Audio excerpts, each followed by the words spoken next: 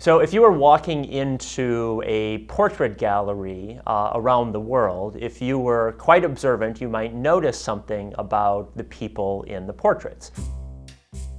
And that is that the way the people face in the portraits isn't random. People do have a tendency in portraits to face toward the left side of the canvas.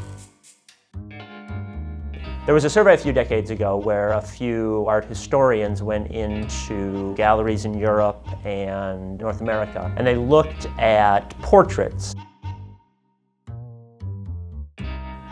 So if the position of your face was totally random, you'd expect to have about a third of the people facing forward, a third facing to the right, and a third facing to the left.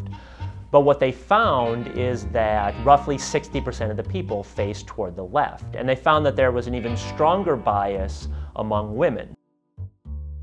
A couple of scholars looked recently at depictions of Jesus on the cross, and they found that over 90% had Jesus facing left. You can even see this bias in high school yearbook photos, in that most people naturally just tend to turn toward the left side. You would think there would be some reason for this to happen.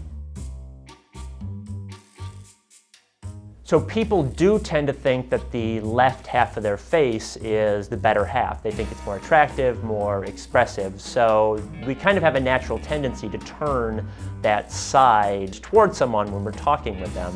The best explanation is that we don't view the left and right halves of people's faces in the exact same way people actually have a tendency to be more expressive with one half of the face than the other half because our brains don't quite work the same way on the left side and the right side.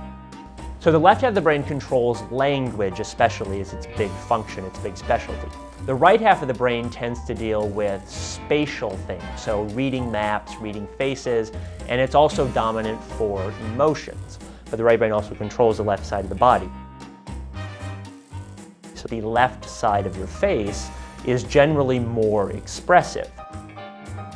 I think the real reason I find it fascinating is that it's almost like you're let in on a secret about day-to-day -day communication, like you found something out about the way communication works. And you know, all of us have had thousands, hundreds of thousands of conversations, and you would think that people would notice these things if we did have a strong tendency to turn toward the left